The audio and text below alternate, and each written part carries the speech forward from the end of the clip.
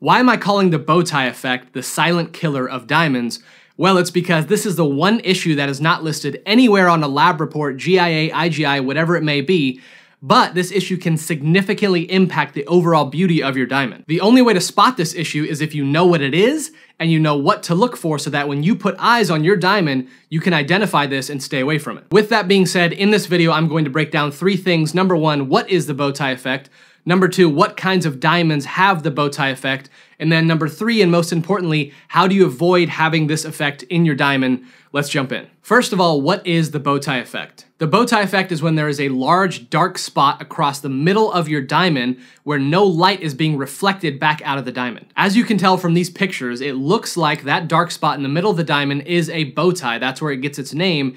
And as you can also tell from these pictures, it is a very unflattering look to have. So that's a quick explanation of what the bow tie effect is. Now the question is, what kinds of diamonds is the bow tie effect most prevalent in? This effect is always to some extent present in oval, pear cut, and marquise cut diamonds. In other words, any kind of fancy cut stone that has an elongated shape, and particularly these three, is going to be susceptible to a bow tie effect. Now you know what it is and what cuts of diamond they show up in, the question is, why does this happen? The reason for this is that fancy cut stones require much more intricate and complex cuts to create the stone as opposed to many other cuts in the diamond industry. This is even more intensified with elongated cut stones like the marquise, the oval, and the pear. What inevitably happens is when these diamonds are cut, they aren't cut perfectly, and when they aren't cut perfectly, the amount of light that reflects in through the top and then back out is imperfect, and thus the bow tie effect occurs because the bow tie effect is simply a lack of reflection out of the top part of that diamond. So with all that being said, that brings us to our third and most important point, which is how do you avoid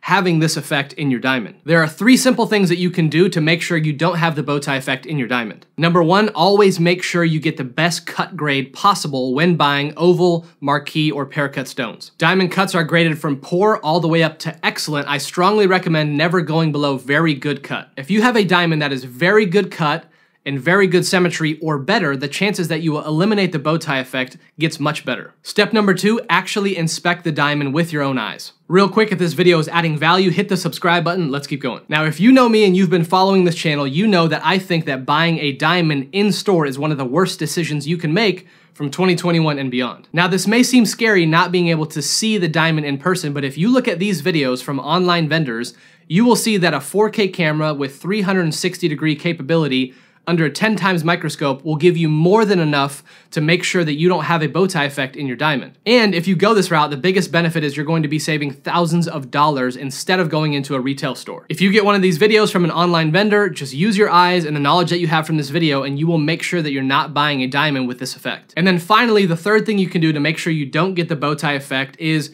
don't over obsess about this issue. Remember that every single oval, pear, or marquise cut stone you're going to buy will have this effect to some extent. In fact, having a subtle bow tie effect in your diamond can actually be good because it adds a tiny bit of contrast to your stone. What I'm talking about here is very poorly cut stones that have significant dark spots across the middle and ruins the overall brilliance and appearance of your diamond. We at the Faithful platform would love to help you walk through this process. We custom build engagement rings every day and hand select diamonds for our clients. If you're interested, there's a link in the description. We would love to give you a free quote. I hope this video helped. We'll see you on the next one.